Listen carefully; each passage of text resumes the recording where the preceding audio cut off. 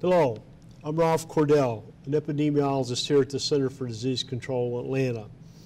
I've been asked to present this introduction to public health surveillance as part of our Public Health 101 series. Now, you may find it hard to believe, but I've worked in public health for almost 40 years.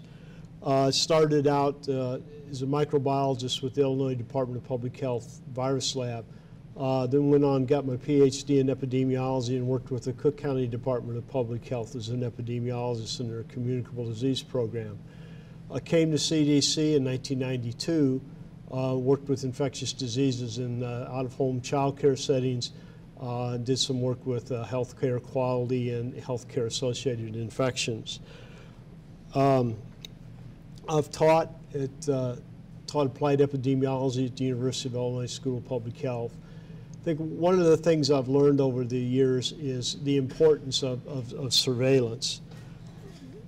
That public health surveillance is one of the most important aspects of public health system. Surveillance data drives our decisions, directs our actions, and like the proverbial dog in the night, informs us of potential threats to the health of those we serve. The next hour, I'll discuss some of the basics of surveillance its role and use in public health. I'll review the legal basis for surveillance, discuss some of the types of surveillance, attributes of surveillance, and the processes involved in conducting surveillance. Finally, we'll apply what we've learned to some cases where surveillance was used to address a public health problem. Throughout this presentation, I'll try to bring examples based on some of my experiences. I'm sure that many of you have had similar experiences or soon will, and I would encourage you to try to fit them into the models that we present here. I'm sure that many of you have had similar experiences or soon will, and I would encourage you to try to fit them into models that we present here. The day-to-day -day routine of the local health department can be stressful and sometimes chaotic, and it helps to be able to find some structure and purpose to the activity.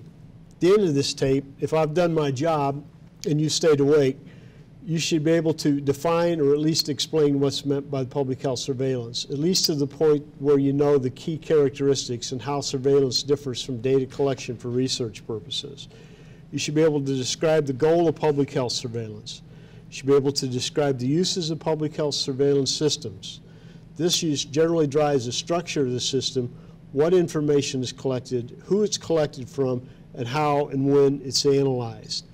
We'll also discuss the legal basis for public health surveillance in the United States. Now, this may sound boring, but a solid understanding of the legal basis for collecting information can be helpful when dealing with attorneys at the local level.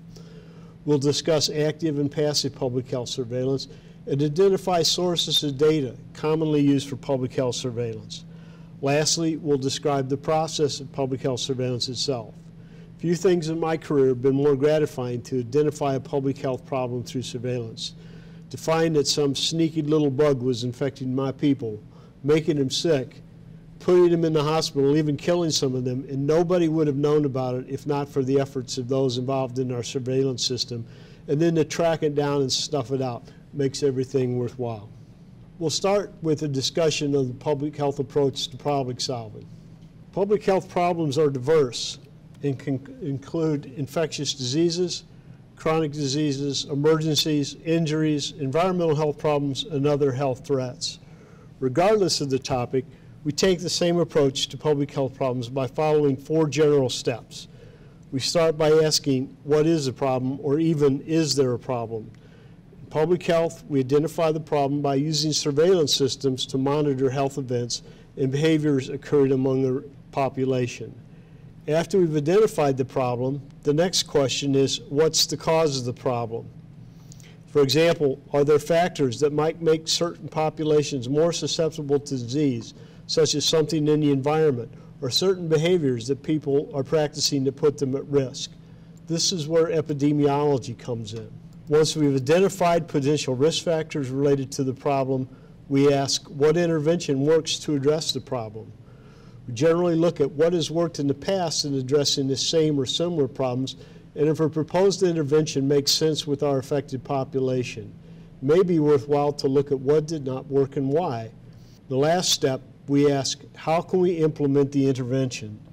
Given the resources we have and what we know about the affected population, will this work?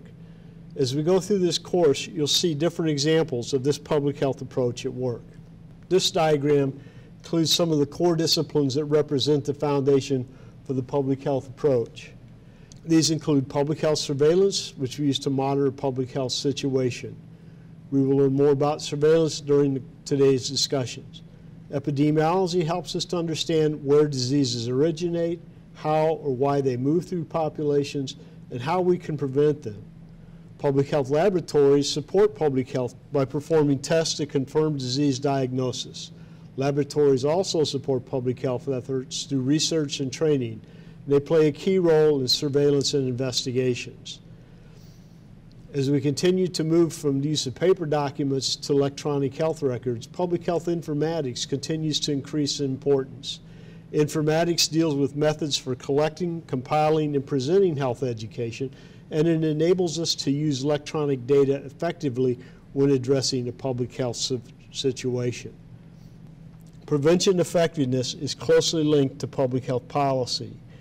Its studies provide important economic information for decision makers to help them choose the best options available. Essentially, it tells us is the juice worth the squeeze. Together, these five core sciences can help us protect and promote public health by giving practitioners the answers they need in order to do their jobs.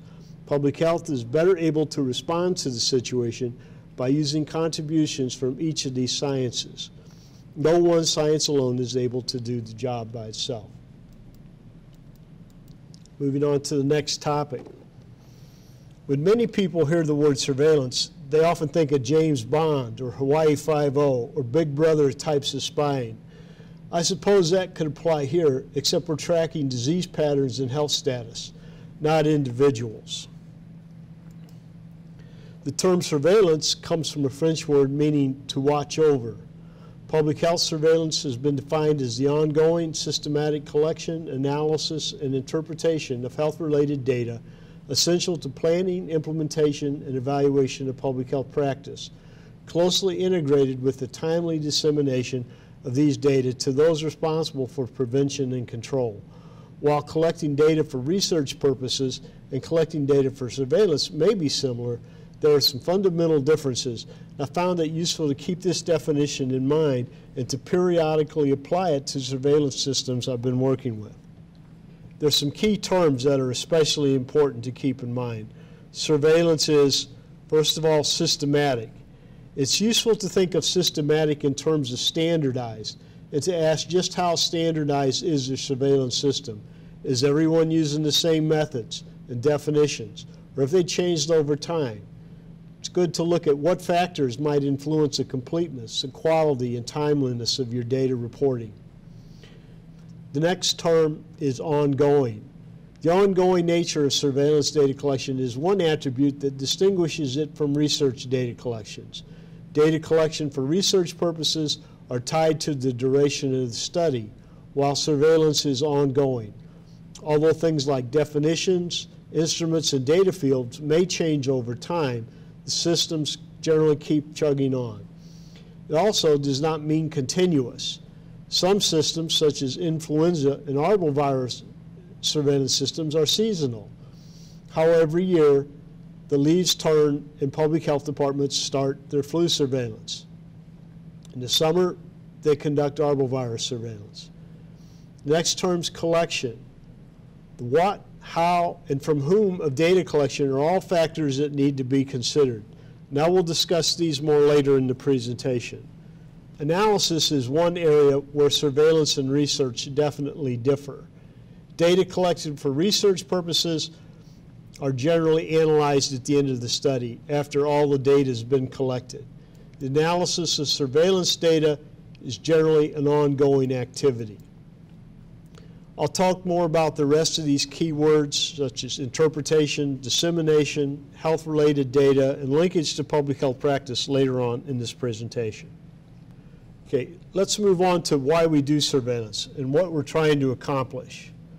According to this slide, the goal of public health surveillance is to provide information that can be used for action and guidance. We'll look at some examples of surveillance leading to action later in this presentation, but it's important to keep in mind that, that action is an important outcome of any surveillance program. You need to understand what you're going to do with the data that you have. Okay, let's do a quick knowledge check. Which of the four choices is most correct? A, B, C, or D?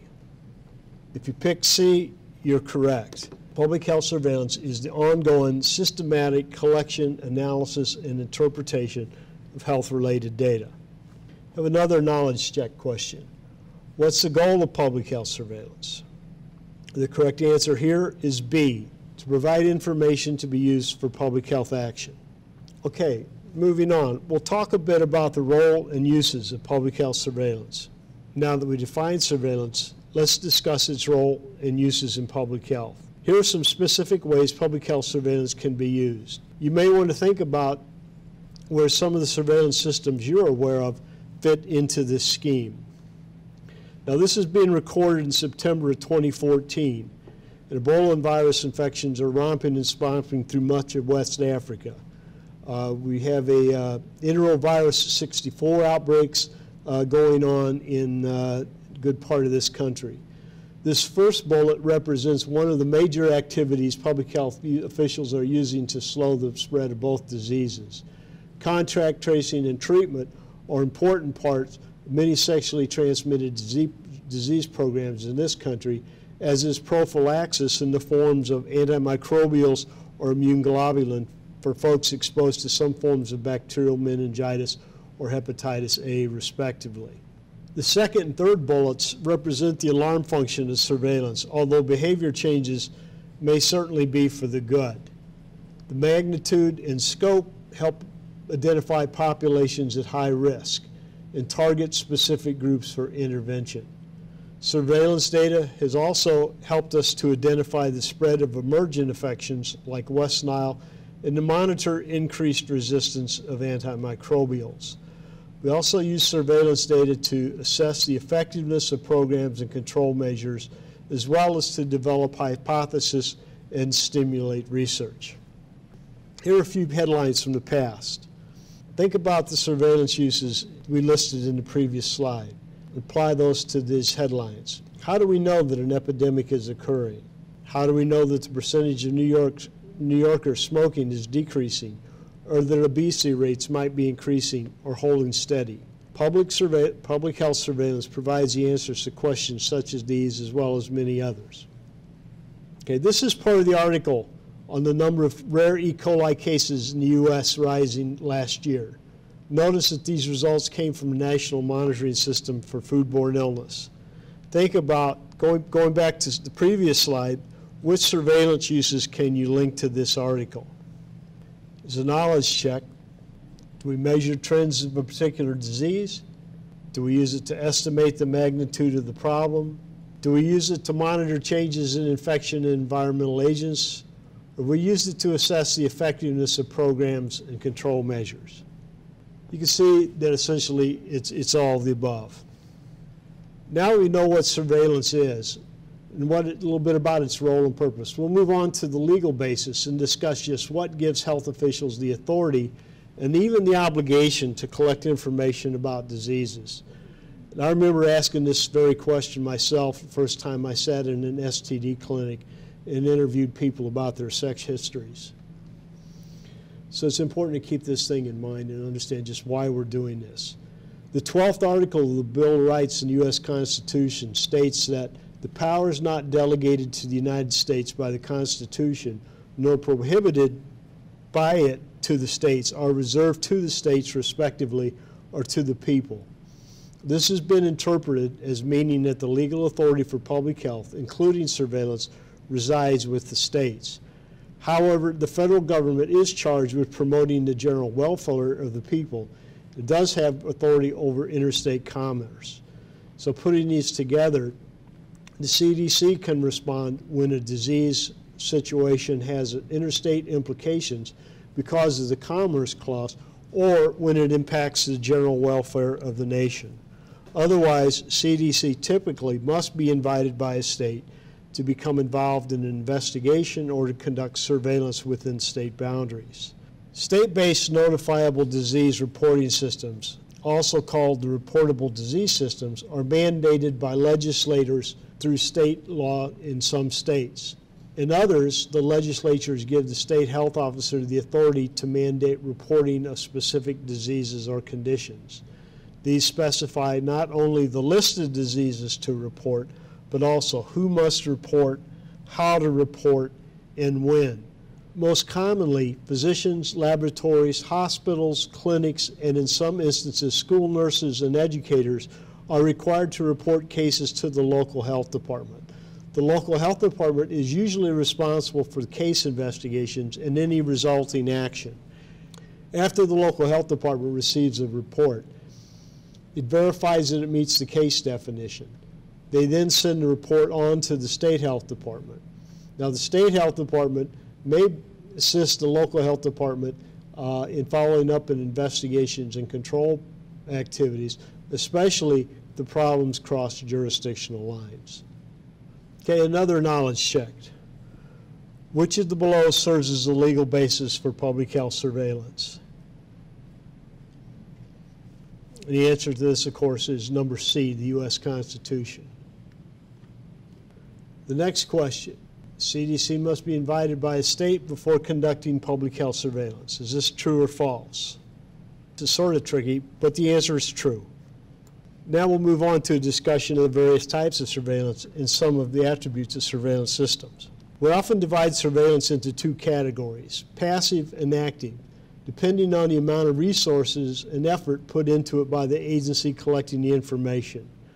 Most routine notifiable disease surveillance is considered passive. In passive surveillance, the physician, laboratory, or other healthcare provider, i.e. the reporter, takes the initiative in submitting the report by following a list of reportable diseases in that state. The state health department or health agency waits for reports to be submitted by others. This is the most common type of surveillance. It is simple and inexpensive, but it's also limited by the variability of quality and completeness of reporting. Active surveillance systems involve regular outreach to potential reporters to stimulate the reporting of specific diseases or injuries. Active systems involve regular outreach to potential reporters in order to stimulate the reporting of specific diseases or injuries. Active surveillance is oftentimes used to validate the representativeness of passive reporting. It can be used to ensure more complete reporting conditions, or it can be used in conjunction with specific epidemiologic investigations. Active systems are often used for brief periods for discrete purposes, such as during outbreak investigations or special time-limited events, or for diseases of special interest, such as SARS. The truth is that there is a gradient here, and an even more active system might involve assigning staff to periodically visit reporting sources and review emergency room, laboratory, or other records for possible cases. Another type of surveillance is sentinel surveillance. A few reporting sources are selected to serve as sentinels. These may be clinicians' offices, laboratories, or other components of the healthcare system. They're asked to collect information and sometimes clinical specimens such as throat swabs from patients meeting established criteria or to conduct additional testing and screening, essentially to go beyond the norm and to periodically report their reports. When I first started in public health, I was involved in a sentinel system for arboviruses where we use chickens Arbovirus uses, has a chicken mosquito life cycle. We put chickens out in the woods every week. We go out and collect bloods from the chickens to determine whether or not they've been infected. So we can do this from uh, sources other than just uh, just involve more than uh, health records. You can also look for uh, activities in other other types of systems. Uh, another Sentinel system at one time uh, cotton pledgets were put in, in sewers and periodically sam sampled and tested for enteric bacteria to look at the presence of various enteric pathogens in communities as well. The usefulness of syndromic surveillance became apparent after the outbreak of cryptosporidiosis in Milwaukee back in 1992 and the increased awareness of the threat of bioterrorism in 2001. Syndromic surveillance focuses on the signs and symptoms of an illness rather than on physician diagnosed or laboratory confirmed illnesses. The case definition for a syndrome is less specific than that for disease. Therefore, follow-up is always necessary to verify if an outbreak is actually occurring. We use syndromic surveillance as an alarm system for bioterrorism events. An advantage to this method is that reporting does not need to wait for a diagnosis to be made. This can add time and delay the reporting process. Because of this time-saving aspect of syndromic surveillance, it's been used as a method for early detection to improve situational awareness, especially in the context of bioterrorism. The, the term syndromic surveillance has also been loosely applied to the surveillance of school and work absenteeism, calls to 911, and the over-the-counter medications, where, for example, a sharp increase in sales of anti-diarrheal medications in the Milwaukee area served as an, served as an early indication the outbreak of cryptosporidiosis. There are several key attributes that should be considered when setting up or evaluating a surveillance system. It is as important to understand the attributes of your surveillance system as it is to understand the attributes of your vehicle or your home. You need to understand what it can do, what it can't do. The first five are shown in this slide. By usefulness, we mean is the system accomplish its objectives to the extent that we want. Data quality examines how reliable the data are that we're collecting through our surveillance system. How complete and accurate are the data fields and reports received by the system? Is there something we can do to improve quality? Do our reporting sources need training? Can they reasonably provide the information we're requesting from them? The next attribute is timeliness. How quickly are reports received? For some conditions, this is critical to prevent further illness, while in others, it may be less important. Flexibility looks at how quickly the system can adapt to changes. Simplicity considers whether the system is easy to operate. I set up the first computerized surveillance system for the Cook County Health Department. The first iteration included fields for almost all the information we collected during the course of our investigations. Within a week, we were so far behind in data entry that we scrapped the whole system and started again. The new system had only six data fields for each report. That system worked fine and was still in place when I left several years later. So simplicity is, is an important attribute to consider. The next attribute, is stability. By stability, we mean does the system work well? Does it break down very often? It's important to look at the sources of instability and how you might be able to improve the system. Things like staff turnover in key reporting sources can cause problems as much as crashes in the computer system. Sensitivity is another attribute. Sensitivity considers how well the system captures the intended cases.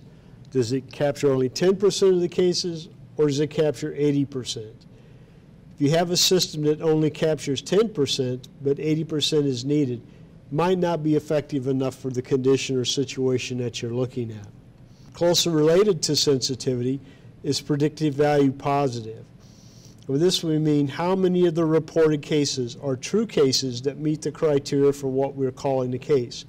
That is, how many reported cases actually meet the case definition. Representativeness looks at how well the reports in the system represent the population under consideration. Does it identify events only among certain groups, or does it accurately capture events across the whole target population? Sexually transmitted disease surveillance systems are notorious for not representing the entire population. The final attribute is acceptability. How willing are the system users to actively participate in the surveillance efforts and to report their data? In the early days of the epidemic, name reporting of AIDS cases and HIV positivity was a real issue until people became comfortable with the system. Under real world conditions, we may need to balance some of the attributes of surveillance systems in order to accomplish the objectives. For example, sensitivity and predictive value positive typically have an inverse association. The more sensitive the system, the lower the predictive value positive. Therefore, one might decide whether you'd rather have a more sensitive system or a higher predictive value positive in order to accomplish your goal. This may vary from system to system. And here we have another knowledge check. The New York State Department of Health contacts the healthcare providers in District A every Friday to obtain the number of patients examined with influenza. What type of surveillance is this? The correct answer is B, active. What if they were to send a notice to their providers at the start of the flu season reminding them to report? Then what would that system be? What if they were to send staff to a sample of emergency rooms to review records? Would that change the answer as well? A lot of decisions have to be made when you decide to place an illness or injury under public health surveillance public health surveillance process.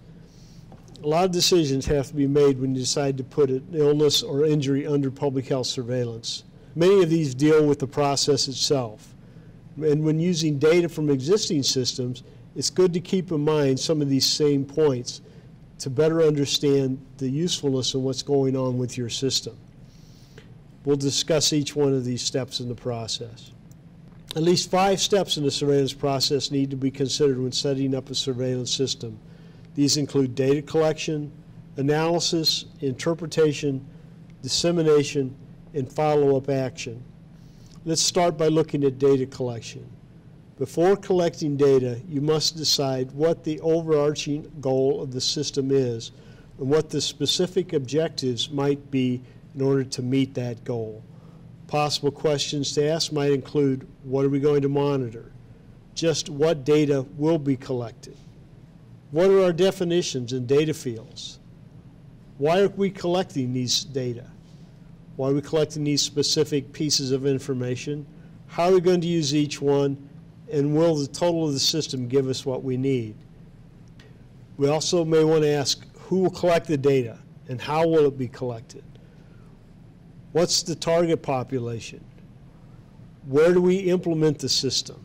Will be done in certain communities, types of settings? Will the system be active or passive? How will the data be transmitted to the people that are actually performing the analysis? Will this be by, by paper? Will it be by mail? Will it be electronically? Uh, what are the time factors involved? How, how are we going to put this up, this system together to give us what we need to know?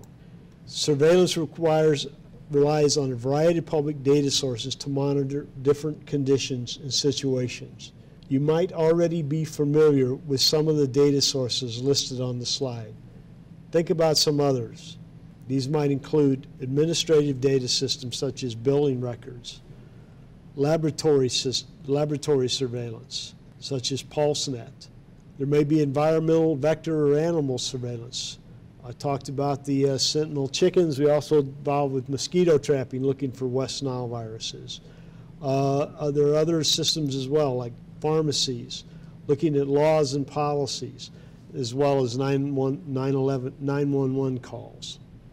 Moving on to the National Notifiable Disease Surveillance System. This is a collaboration between CDC and the Council of State and Territorial Epidemiologists, or CSTE. Many of the diseases on the state list are also nationally notifiable, but the reporting by state is voluntary. Now, each state determines which diseases and conditions are reportable within their jurisdiction. They also decide which ones from the list of nationally notifiable diseases or conditions they will report for their state. CSTE and CDC collaborate closely in developing this national list. It's revised yearly and therefore varies somewhat from year to year as well as from place to place. States typically fully cooperate with national disease reporting because CDC publishes the provisional data weekly in Morbidity and Mortality Weekly Report, or MMWR, and the final data is published annually in the MMWR Annual Summary of Notifiable Diseases. MMWR displays the data in complex tables and maps such as the one displayed on this slide. This allows each state to know how their population's health compares with other states. This is the form from Georgia Department of Public Health. This is a Georgia Notifiable Disease Form. What do you notice about this form? I note there are at least four, four items. Most of these conditions are infectious. These are diseases that are passed from person to person or from animal or insect to people. Also, Georgia has four different reporting time frames immediately, seven days, one month, and six months. You may ask, who is required to report? This is in the top block. It includes, includes physicians, laboratories, and other healthcare providers. The fourth and final item you might have noticed is that the form states that any of cluster of illnesses into, is to be reported.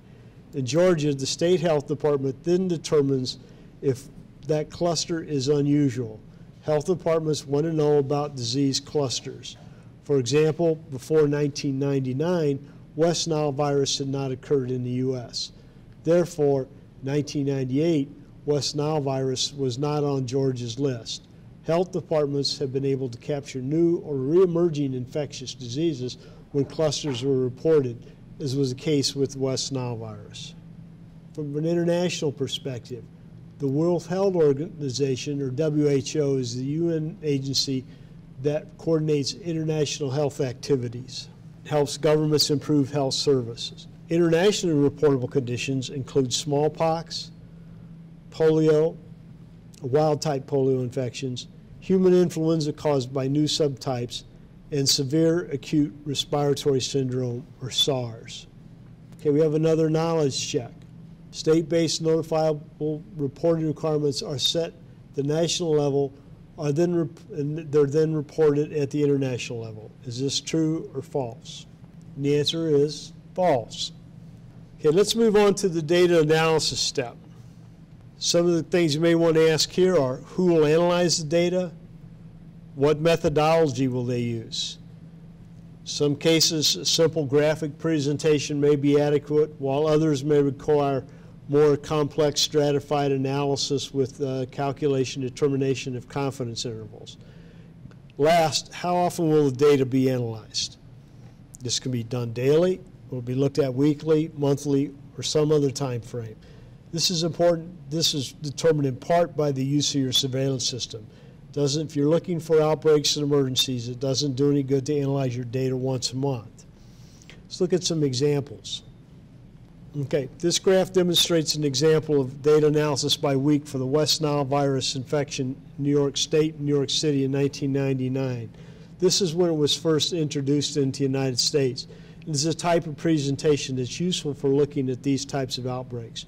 For other outbreaks, you might want to adjust the y-axis to days or hours, and the groups might represent classrooms or floors of buildings or even person-related variables.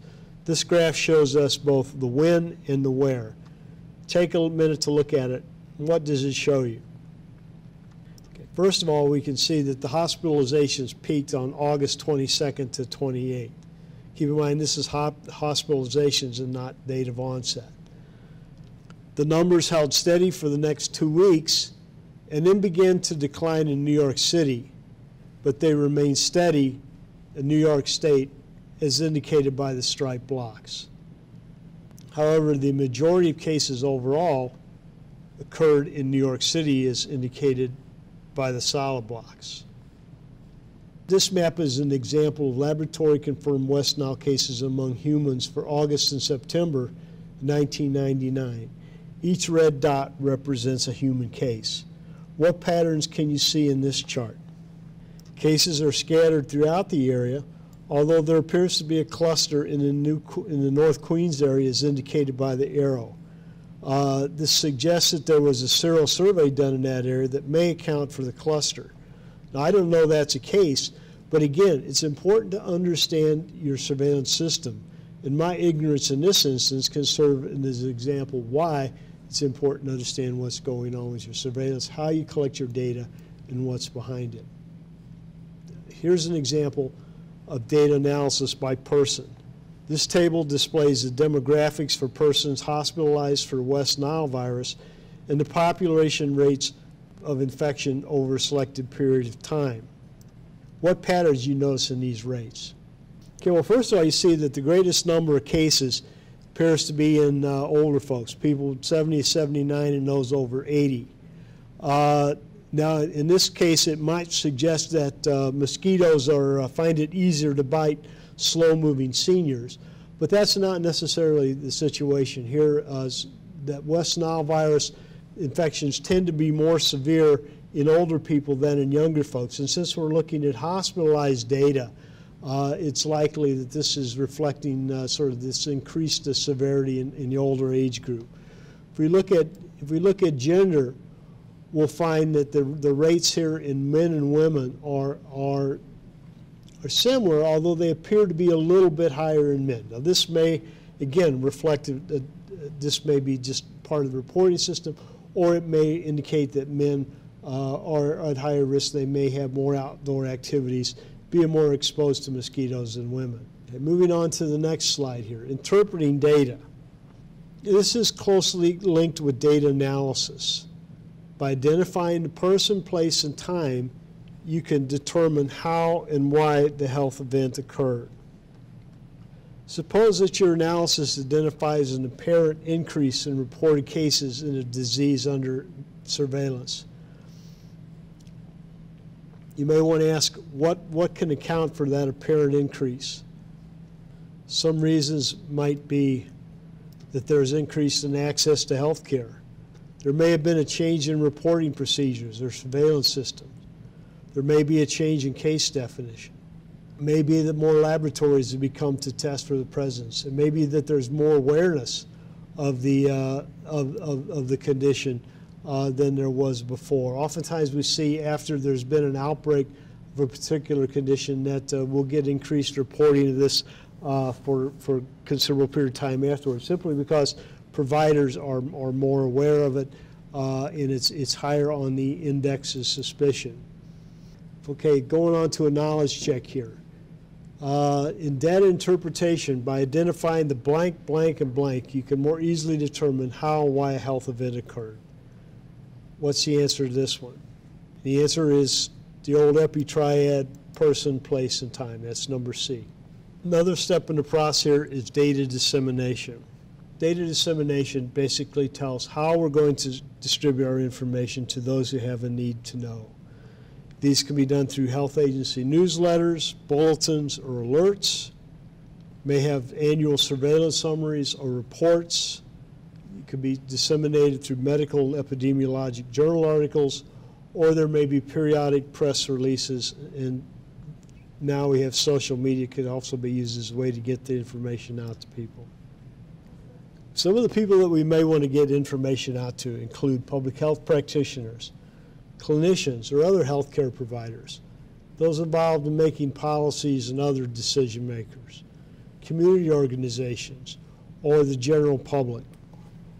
A knowledge check. Which of the below is not a good source of data used for public health surveillance? And the answer in most cases would, of course, be C, newspaper articles.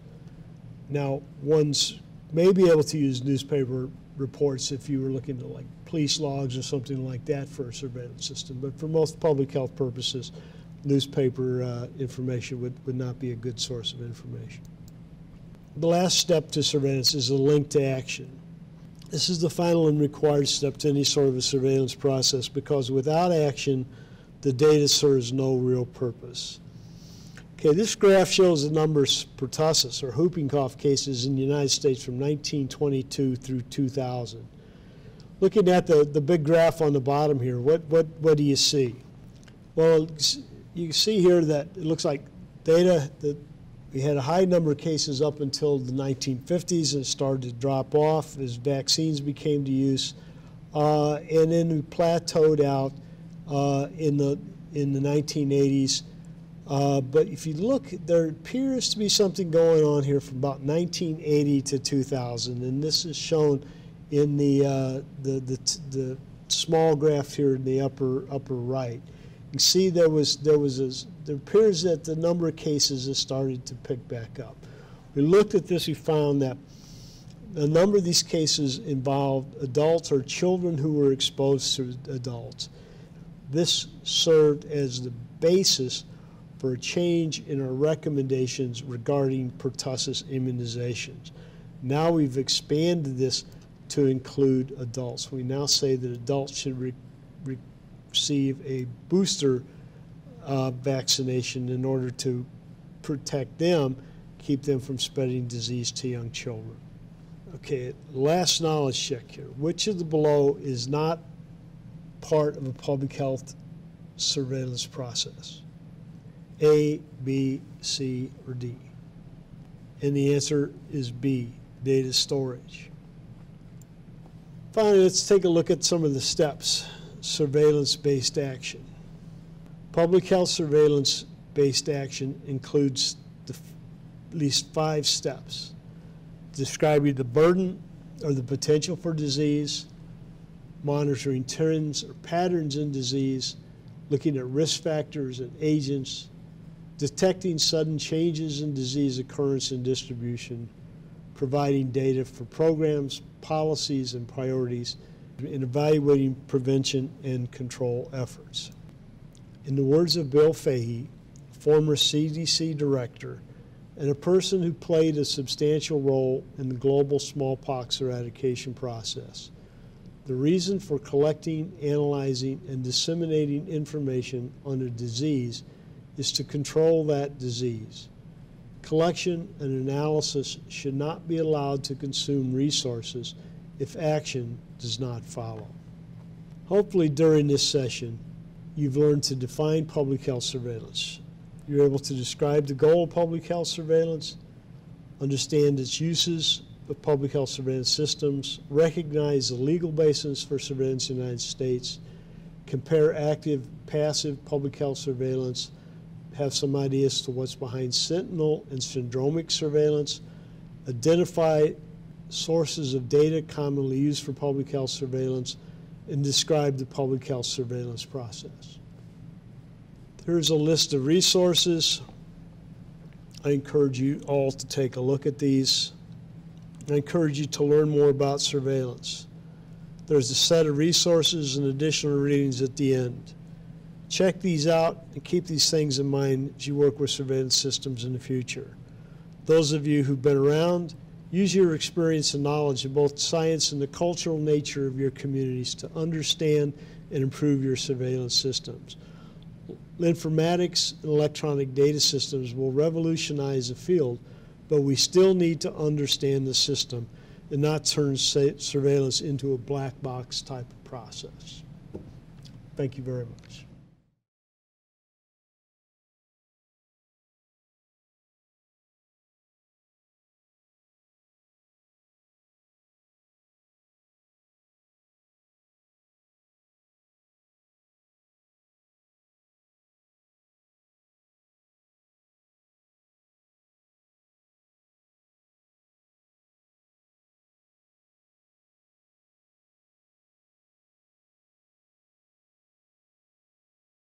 To receive Continuing Education Units CEU credit for today's webinar, please complete the webinar evaluation on CDC Train by logging in and looking under My Learning. If you or one of your colleagues were not able to fully attend or attend today's webinar, an archive version of this webinar will be available on CDC Train in approximately two weeks. For further information, please visit www.cdc.gov slash lab training. Again, thank you for participating in today's webinar. Have a positive and healthy afternoon.